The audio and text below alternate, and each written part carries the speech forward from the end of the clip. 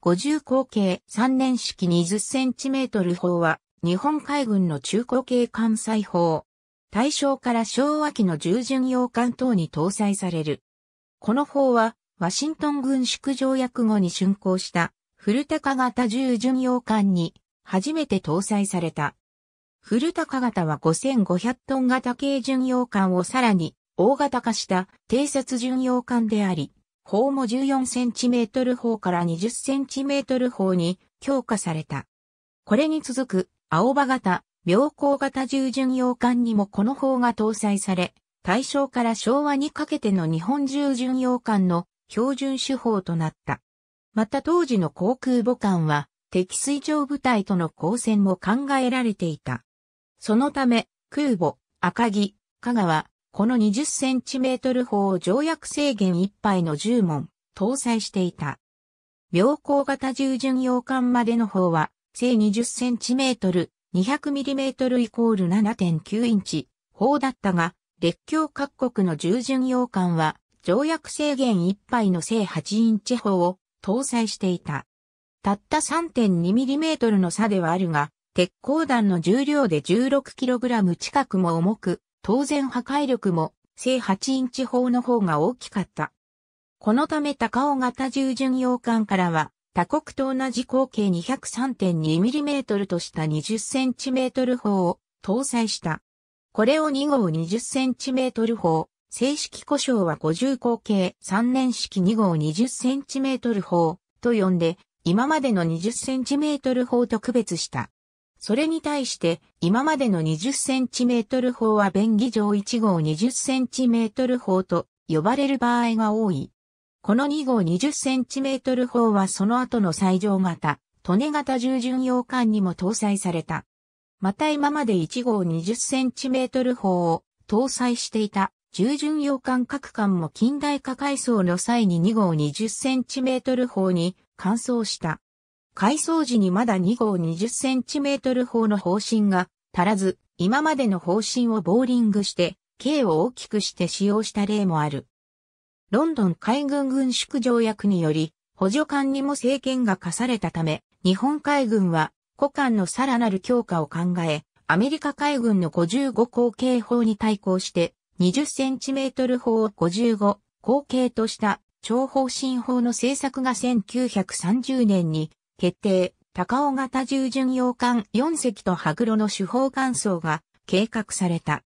交換用の方針や内藤約60門の製造が予定され、1931年には試作砲1門が完成、試験結果も良好であった。しかし1933年に計画は中止された。理由は明らかでない。なお、55口径の超方針を取得するために、名称は、過小50口径3号20センチ砲とされている。古高型重巡洋艦に搭載された放出形式の単装砲。重量軽減のために、砲弾は一旦一段下の甲板に上げて、そこから改めて砲をへ、用玉する形式だった。砲身への装填も人力装填で、これらにより旋回部重量は放出1機で57.5トンに抑えられた。しかし、これでは人力を介する作業が多く、発射速度を維持することが難しかった。そのため古高型は、階層に際して口述する、砲塔形式の E2 型連装砲に換装された。A 型単装砲の装甲は、前縦 25mm、天井 19mm で、断片防御程度であり、これも重量低減のためであって、対 20cm 砲防御は最初から諦められていた。また本砲から、股崎に圧縮空気が初めて用いられた。それまでの方は水圧、またはバネによって股座していたが、本法で使用に問題がなかったため、戦艦の手法もこれ以降は圧縮空気式の複崎に改められた。空母、赤城、加賀には塩水台下に乗せた A1 型単装砲画が原則に搭載された。空母、赤城、加賀に搭載されていた砲塔。前述の通り敵艦と遭遇した場合の砲撃戦を想定しており、竣工時には中部飛行甲板の前端左右に1機ずつ搭載された。行角は70度で一応対空射撃もできるように考慮されていた。一方走行は25メートル MNVNC 後半で断片防御程度であった。以降の連装砲塔も走行はすべて25メートル MNVNC 後半である。赤木、加賀のいずれの砲塔も三段式甲板を全通甲板に改めた再撤去されたが、この砲塔が後にタイのトンブリ級解剖戦艦に流用されたという説がある。青葉型従順洋艦に搭載。砲弾は、溶弾頭によって弾薬庫から直接砲に溶弾し、装填も機械式となり、発射速度の維持が可能となった。竣工時の溶薬塔は競り上げ式だったが、装薬が火薬庫まで繋がっている形だったため、防御上に問題があった。そこで1937年の近代化改装の際に鶴瓶式に改められた。砲塔の形状は次の D 型と似ている画砲の周囲に防熱板が装着されていない。竣工時は1号 20cm 砲だったが、近代化改装の際に内灯を削り、2号 20cm 砲にしたと言われる。妙高型従順洋艦に搭載。先の C 型砲塔と形状は似ているが、装填機構が改良されている。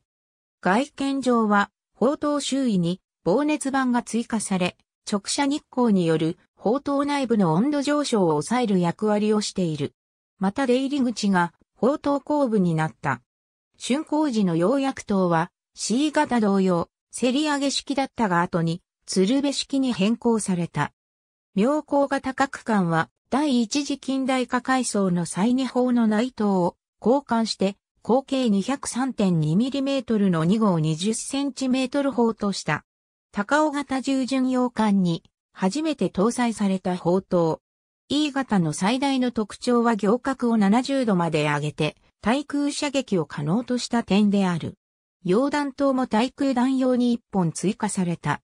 ただ、装填角度が従来と同じ固定5度なので、対空射撃の時は発射速度が大きく落ち、また射撃式装置も対空戦闘を考慮しておらず、完全な療養法とは言えなかった。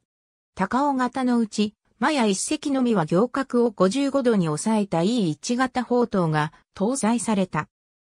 実際の対空戦闘では水平線近くの雷撃機を射撃する機会が多いことが分かったため、行角が抑えられた。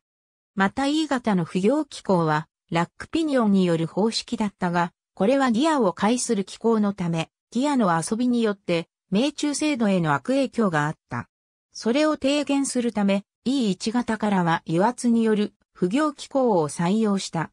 外見は E 型と変わらない。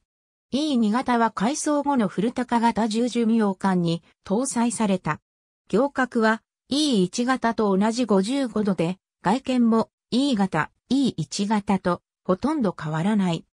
方針は妙高型から下ろした1号 20cm 砲の内灯を削り、2号 20cm 砲として再利用したと言われる。E3 型は、トネ型従順洋艦に搭載された。トネ型の1、3、4番砲のリングサポートの形状が上に行くほど、すぼまった円錐台形の形をしているのが特徴である。これは心臓工事の途中で 15.5cm 砲から2号 20cm 砲に手法が変更されたのが原因で 15.5cm 砲より 20cm 砲の方がローラーパス径が小さいためである。外形は先の E 型砲とほとんど変わらない。トネ型の2番、4番砲には8メートル速距儀が新たに搭載された。主砲乾燥後に搭載された最上型従順洋艦の 20cm 砲は、トネ型に搭載された E3 型と外見上はほとんど変わらない。ただしローラーパス径が違うため最上型砲塔として分類される場合が多い。砲塔上の側距儀は、トネ型と同じ8メートル型を搭載した。ちなみに捜査人員は、砲台長以下23名だった。大海軍のトンブリ級解剖戦艦の手法。外観は D 型連装砲に酷似している。は左に同じ。空白は不明。砲塔の基礎となる部分。艦艇搭載の砲塔の下には装甲を施された円筒形の構造物が下部の弾薬庫まで続いていて、砲塔旋回部を支えている。これをリングサポートという。その内部は旋回部と一体となって旋回する溶弾塔と溶薬塔が設置され、弾薬庫から砲まで直接砲弾薬を運搬する。砲塔類似の形式にもリングサポートがあるが、弾薬庫まで直接つながってはいない。砲塔がスムーズに旋回するように、リングサポート最上部の演習場には多数のローラーが設置される。これをローラーパスと言い、スラストローラーベアリングの一種である。砲塔旋回部はその上に置かれているだけとなる。ABC フルタカ型、青葉型の各従巡洋艦は口径 203.2mm の2号 20cm に交換したというのが一般的に言われており、砲塔の製造記録や搭載記録も残っている。しかし、今までの砲弾の在庫を処分するために1号 20cm 砲のままだったのではないかという説もある。ただ、それを裏付ける資料はない。従順古高型、青葉型では、羽黒ではなく足柄と記述されている。ありがとうございます。